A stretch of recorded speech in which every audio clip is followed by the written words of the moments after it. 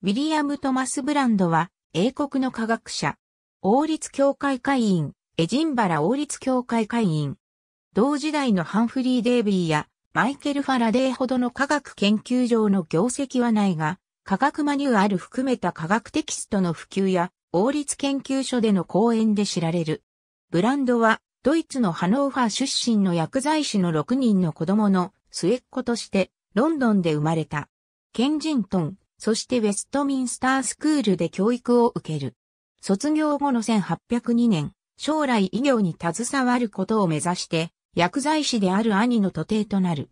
グレート・ウィンドミル医学校と成城寺病院で医学を学んだ後、科学の道に入ってデイビーと出会う。1809年で王立協会会員に選ばれる。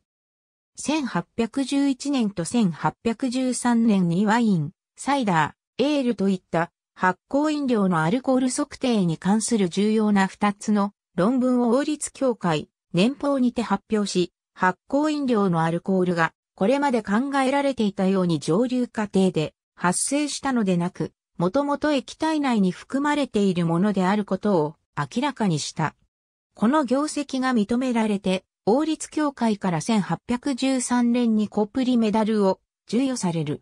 1812年に薬剤師協会の教授に任命され、また農業委員会での講演をデイビーに変わっていった。翌1813年デイビーが担っていた王立研究所の科学部門の代表も引き継いだ。1818年に巧妙な科学者、チャールズ・ハチェットの娘アンナ・フレドリカ・ハッチットと結婚する。ハチェットはブランドが薬剤師の修行時代に出会った人物で、ブランドは彼の鉱物研究の手伝いをした経験から科学への道を目指すようになった。1821年には酸化リチウムの電気分解によってリチウムを初めて管理することに成功した。1823年以降、政府はブランドに貨幣鋳造のための製鉄技術に関する相談をし、以後王立造幣局の業務に携わるようになる。1848年の王立委員会での造幣局改革案を受け、1852年、高価鋳造と金型の部門の監督になる。1841年、科学協会の設立に関わり、1847年からの2年間、東京会の会長を務める。1866年ケント州のタンブリッジウェールにて死去。エイブラハムリーズの百科事典に論文を複数寄稿したとされるが、どの項目を執筆したかは不明。